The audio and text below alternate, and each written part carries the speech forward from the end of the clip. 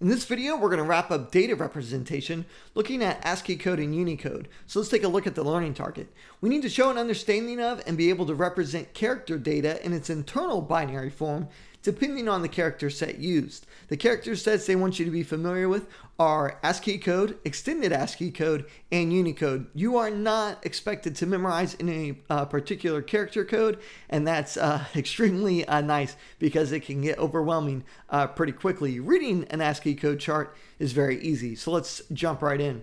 ASCII code stands for the American Standard Code for Information Interchange.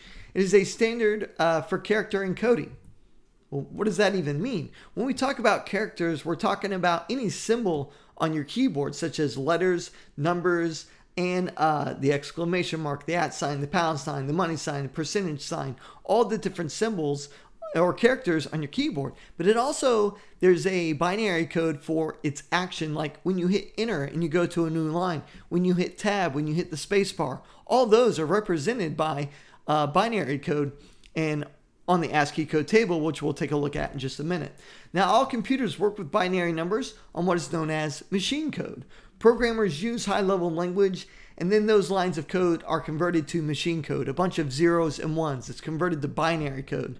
Now, when you type something, computers read the binary code for the letter or the action and output it to the screen. When you type the letter capital A, it doesn't read capital A, but rather 01000001.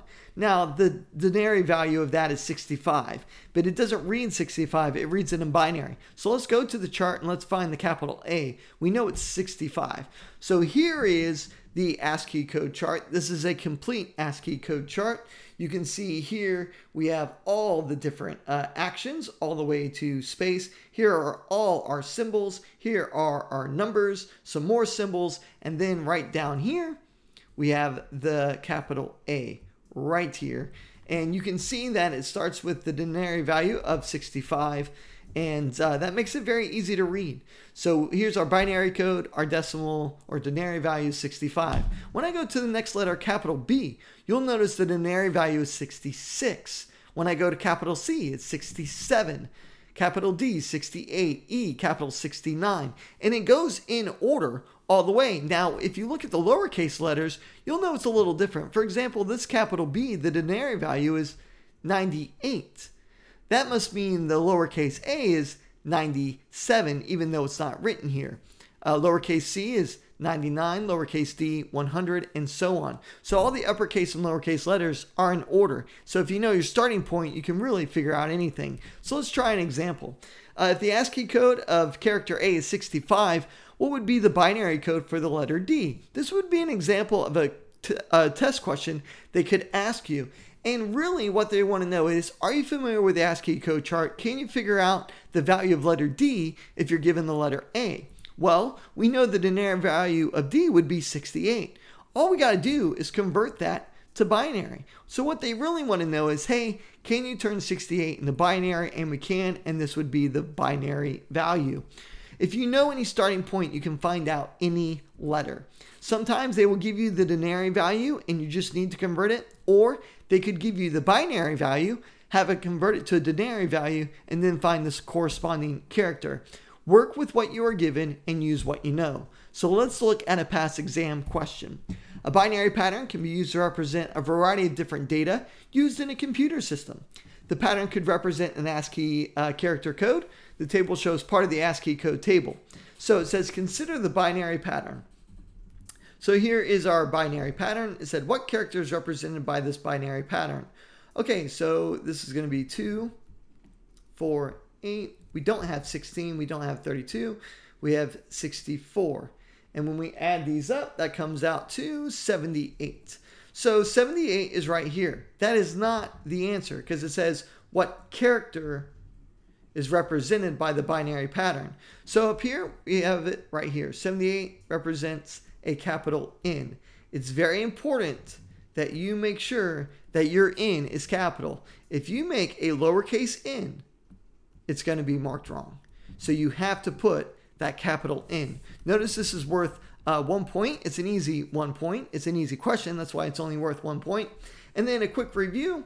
What is the hexadecimal for this binary code that has nothing to do with the ASCII code table. So I'm going to go back up here. I'm going to erase uh, my values so I can figure out what they are. Remember when you're doing hexadecimal, you need four bits uh, per character. So this is 2, 4, 8. So that's going to come out to 14.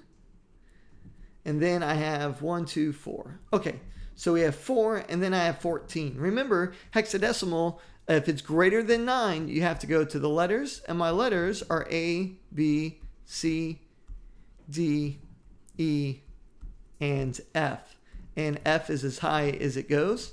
A is 10, B is 11, C is 12, D is 13, E is 14, F is 15. So I know I have 14, so that is right here. That is going to be the letter E. So my second character, after figuring out this 4, my second character is E, and I'm done. So with those two uh, questions, you can get two easy points. Okay, there are some drawbacks of uh, the ASCII code table. Obviously, not everyone uses the English language or an English keyboard layout. And this is where Unicode comes in. Um, Unicode can code for a lot more characters than just English characters. Currently, right now, it can code for over 1 million characters. It can do characters that aren't represented in the ASCII code chart. It can even do symbols such as a treble clef. It can do many other symbols that you don't find in ASCII code. Um, there are differences, obviously. ASCII code only takes up 7 bits per character, but it's limited to what it can code for because it only takes up 7 bits per character. Now, Unicode can code for so many more characters than ASCII code, and you can switch between 8 bit encoding, 16 bit encoding, 24 bit encoding, and even 32 bit encoding to get even more characters. So the difference is Unicode can code for more characters, but it's going to take up more space. Um, now, what is extended ASCII code? Now, you may have noticed something in the first bullet. It says ASCII code only takes up 7 bits. But before we move on to AS- extended ASCII code, we have to ask ourselves I thought ASCII code used 8 bits. When we look at this chart, we see 8 bits, and you would be right. When we look here at the letter A, where's my pin go? When we look right here at the letter A, you can see that it's uh, 8 bits here. But if you look very closely, you will notice that each of these characters start with a leading 0 all the way from the very beginning all the way to the very end. And when you look at the very end, you'll notice it has a leading 0 too. So really that leading 0 isn't needed. That's why it's 7 bits. Also, if you look, there are 128 possibilities. Our maximum number is 127. And if you're new to uh, computer science, you may be saying, well, that's not 128. Please do not forget that zero is a value too. We don't start at one, we start at zero. So two to the seventh power is 128. Now, extended ASCII code allows for more characters because it doesn't use seven, it uses eight bits per character. Changes the maximum amount of characters from 128 which is standard ASCII code, to 256. So here's our standard ASCII code table that uses 7 bits, but when we use 8 bits, we can go beyond 127 and we can start at 128. And here you can see that we can start coding for a lot more characters that don't show up. So we see here we're starting at 128 and we go all the way to 255. Now you may be saying, well, 255 is not 256. Do not forget, we have that zero on the standard ASCII code that codes for a value 2. This is not a new chart.